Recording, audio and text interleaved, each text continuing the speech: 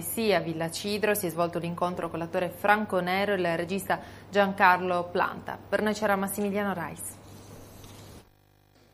Nel ricordo di Giuseppe Dessì, questa è la casa museo con i libri e gli oggetti cari all'autore di Paese d'Ombre, tappa essenziale per conoscere il suo mondo letterario.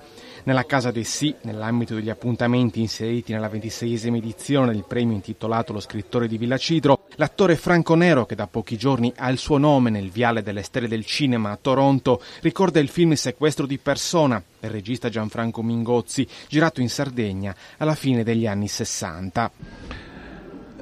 Ma ho dei bei ricordi, mm, io sono stato un po' l'artefice della scelta dell'attrice che era Charlotte Rampling, che io dissi proprio al produttore Clementelli, uh, guarda che c'è un'attrice inglese che sta, uh, che l'ho vista in un piccolo film, un film piccolo ma era un bellissimo film che era Giorgi Svegliati di Silvio Nanizzano assieme a, a Lynn Redgrave, James Mason e Alan Bates e ho detto guarda io ho visto questa giovane attrice che per conto mio è stupenda e dove sta? Gli ho detto guarda con la delegazione inglese va al festival di, di Sorrento e così sono corsi a Sorrento e hanno chiuso subito lo, il contratto ed è venuta a girare con noi.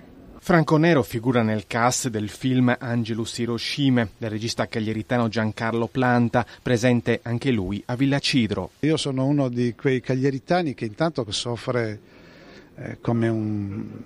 L'altro giorno ho visto Cagliari, Cagliari Roma, eh, stata... l'ho vista in un'osteria di Frascati, con... ero l'unico sardo, pensavo di trattenere la gioia di dominarla e poi invece è scoppiata la mia anima cagliaritana.